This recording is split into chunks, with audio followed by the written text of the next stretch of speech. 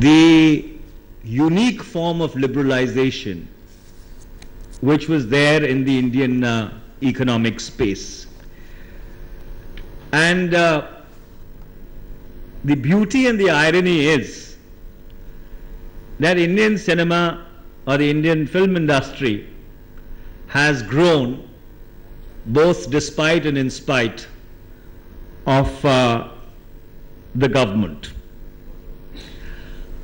While uh, the centenary of uh, any individual, any institution, or any organization may really be something which needs to be commemorated, which needs to be noted, which possibly needs to be celebrated also. When you widen the canvas, a centenary is but a small footprint in the sands of time. So therefore,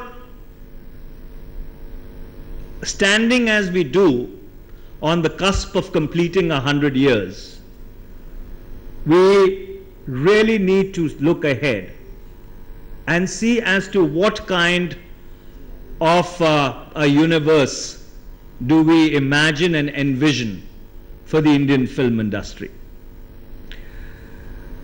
While uh, we have a right to be proud of our achievements, and I think uh, the Indian film industry has uh, contributed exponentially to propagating the software or the soft power component of India's net national power. But as uh, Mr. Mahesh Bhatt was rightly pointing out, that potential is not only underexplored, but we are possibly just scratching the surface.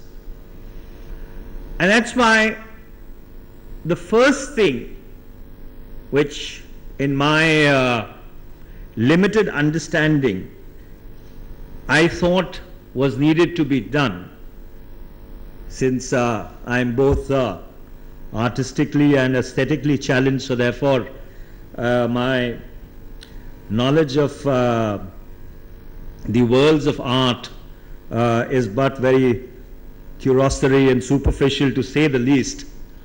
But I have a slight understanding of the laws since uh, that's what I used to do to earn my bread and butter till a few months ago.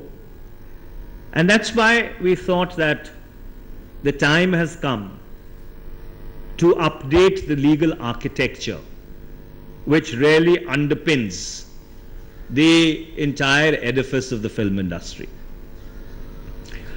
In the wake of uh, the controversy over Vishwarupam, and that's not the first time it has happened, it's happened on various occasions in the past.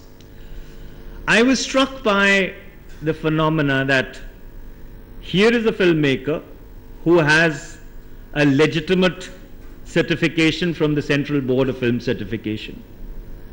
There is a Supreme Court judgment which says that law and order should not be allowed to stand in the way of uh, artistic endeavor and its dissemination.